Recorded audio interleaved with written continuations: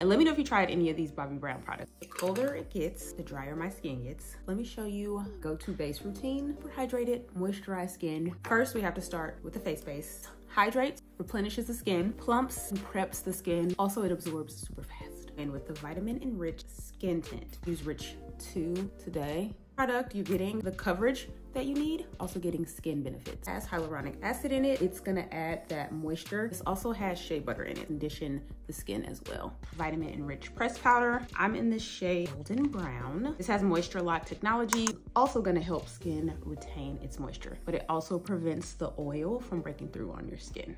Let's chat in the comments. Goodbye.